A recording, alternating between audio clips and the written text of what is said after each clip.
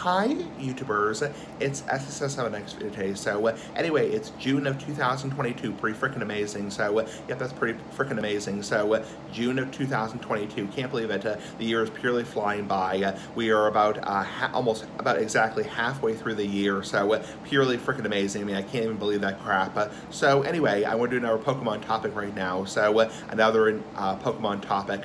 now, I want, I want to cover right now essentially what is a blackout or a whiteout or when you're overwhelmed by your defeat. Now this applies to any kind of Pokemon game, uh, any kind of the handheld Pokemon games like uh, Red, Blue, Yellow, uh, Ruby and Sapphire, you know, Sword and Shield, uh, you know, any kind of Pokemon game that's handheld.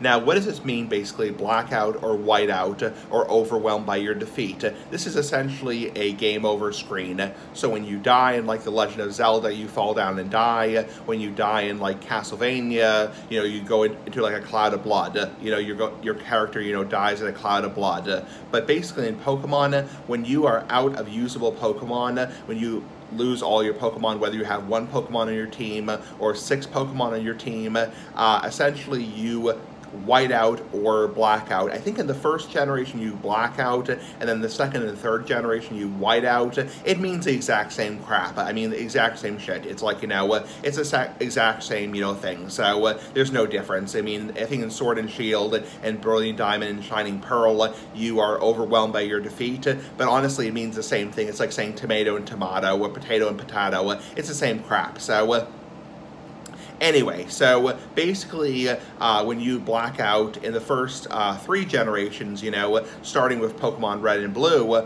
all the way up to Pokemon Emerald, uh, you take a penalty. So the penalty for not dying, but uh, the penalty for because your character doesn't die, but your character has to go back to the Pokemon Center uh, and you know heal the heal the Pokemon. You know, uh, basically when you and also keep in mind prior to fourth generation, you can actually black out or white out if you have poison, the overworld. So say you're a Pokemon, you have one Pokemon with poison that's poisoned and essentially runs out of HP, you can actually black out in the overworld. So this was fixed in Pokemon 4th generation, and Pokemon 4th generation, it will be reduced to 1 HP, but it will survive. So what happens in terms of the penalty? So the penalty is you lose a sum of money. So essentially you have your prize money money from winning, uh, you know, trainer battles and also uh, selling items, etc., etc. And in the first three generations, you will lose simply half your money. So, say you have a thousand dollars, a thousand Pokemon dollars,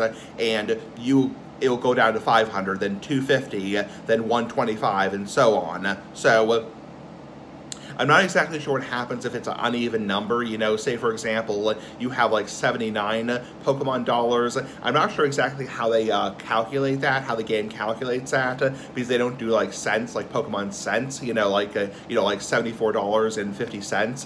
But I think probably most likely they do like a greater than, like for example, like you know, they round it off. So if you have seventy-nine dollars, it would be whatever. So I'm getting off topic here. So that's how it works in the first uh, three generations uh, up until Pokemon Emerald. Now, starting in Pokemon uh, Fire Red and Leaf Green, you will lose a certain sum of money. Now, it's complicated to explain.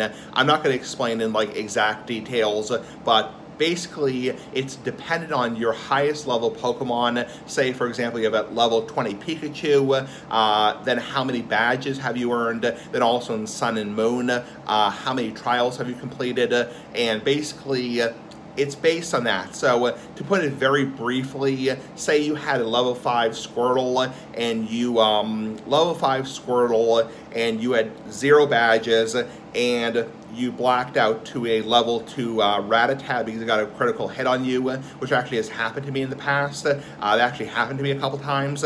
Uh, basically, you would lose $40 or 40 Pokemon dollars. I keep saying dollars, but it's actually Pokemon dollars. So that's 40 Pokemon dollars. So it's somewhere, I mean, if you had a level 1, I think it would be like uh, 8 Pokemon dollars. It's complicated to explain, so uh, please don't, you know, quiz me or get into big, like, discussion about this. but essentially, that's what it means. So you will lose a certain sum of money. Anyway, that's what basically a blackout or a whiteout is, is essentially it's a game over screen. And in, another thing is, in starting Pokemon Fire Red and Leaf Green, there will be a small cutscene where the trainer goes back to the Pokemon Center and essentially uh, the Pokemon Center will, will do a quick uh, speech. So it's a kind of a complicated topic, but uh, that's basically the basics of it. It's a game over screen, and essentially you'll take a, a, penalty in terms of how much money you have, and then that is basically the penalty you take. So, oh, another thing I want to mention before I forget. Uh, unlike a lot of RPGs, unlike a lot of RPGs, you actually do keep the the experience you you have. A lot of RPGs, uh, when you get a game over screen, you lose your experience. In Pokemon, you keep your experience. So if you don't mind losing your money over and over again or losing some money, essentially you can just keep trying over and over again until you get stronger and stronger. That's something that's unique about Pokemon, unlike Castlevania or like Final, you know, like uh, most RPGs, is that you actually keep your experience and you keep your move set. Um, unlike um, a lot of RPGs, you, you, which you don't keep your, your experience. So anyway, bye. Pretty freaking cool.